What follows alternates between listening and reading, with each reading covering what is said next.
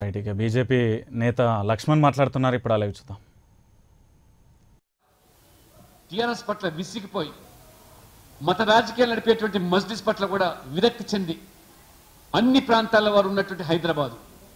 ఈ గల్లీ ఎన్నికలని చెప్పిన మీరు హైదరాబాద్ ప్రజలు అవమానపరిచిన మీరు కోటి జనాభా ఉండేటువంటి అన్ని వర్గాల ప్రాంతాలు ఉండే ఈ హైదరాబాద్ రాష్ట్ర రాజధాని అవమానపరిచిన ప్రజలకు మీరు ఈరోజు అన్ని ప్రభుత్వ యంత్రాంగాలను రాజకీయంగా వాడుకొని ఎన్నికలకు పోతే భారతీయ జనతా పార్టీ స్వతహాగా పోటీ చేసి టీఆర్ఎస్ మజ్లిస్ లోపాయకారి ఒప్పందం. పైపెచ్చు మీకు అండగా ఎన్నికల కమిషన్ పోలీస్ యంత్రాంగం. భారతీయ జనతా పార్టీ ఏకంగా రాజకీయంగా టీఆర్ఎస్ మజ్లిస్తో అదే రకంగా ఎన్నికల కమిషన్తోని డీజీపీ నుంచి మొదలుకొని పోలీస్ సిబ్బంది వరకు వీళ్ళందరితో పోరాటం చేసి సాధించిన ఫలితాలు ఇవాళ వాళ్ళ కళ్ళు చెదిరిపోతూ ఉన్నాయి. నాలుగు నుంచి నలభై నాలుగు వరకు నలభై ఎనిమిది వరకు అంటే నలభై నాలుగు స్థానాలు అధికంగా మేము సాధిస్తే తొంభై తొమ్మిది నుంచి మీరు ఏ రకంగా నలభై నాలుగు స్థానాలు కోల్పోయి ఏ రకంగా యాభై ఐదుకు పరిమితమైన ఇది ప్రజలిచ్చిన తీర్పు.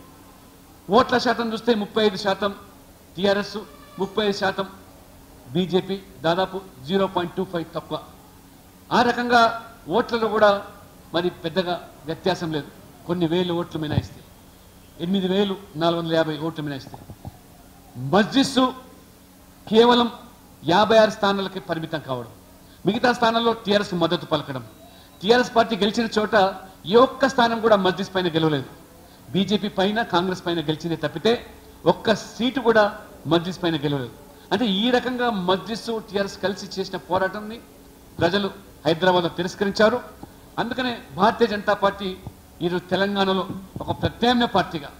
ఈ కేటీఆర్ కేసీఆర్ యొక్క తెలంగాణలో నయాం నిజాం పాలనకు స్వస్తి పలకడానికి బీజేపీ ప్రత్యామ్నాయాన్ని భావిస్తూ ఉంది. నిజాం రజాకార్లకు వ్యతిరేకంగా ఆ రోజు షోయబుల్లా ఖాన్ ఒక జర్నలిస్టు తన కలంతో పోరాటం చేస్తే ఆ కళాన్ని అణచివేయడానికి వల్ల ఈ ప్రభుత్వం టీఆర్ఎస్ ఏ రకంగా ఈరోజు వివరిస్తున్న జర్నలిస్టులను మోసం చేసింది. జర్నలిస్టులను కూడా దగా చేసింది. ఈ ప్రాంతంలో టీఆర్ఎస్ ద్వారా దగాపడ్డటువంటి వర్గం లేదు వ్యక్తులు లేరు.